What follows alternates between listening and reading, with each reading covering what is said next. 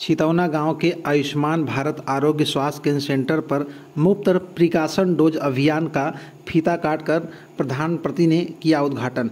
आपको बता दें कि केराकत कोतवाली क्षेत्र के छितौना गाँव के आयुष्मान भारत आरोग्य स्वास्थ्य केंद्र सेंटर पर ग्राम प्रधान पति फौजी सुभाष यादव ने फीता काटकर मुफ़्त प्रिकाशन डोज अभियान का शुरुआत किया और ग्रामीण पहुंचकर बूस्टर डोज का तीसरा डोज लगवाया और इस जिसमें पचपन कोविशील्ड व ग्यारह कोवैक्सीन। सी एच ओ साधना कुमारी और आशा बिमला शांति देवी द्वारा लगाया गया।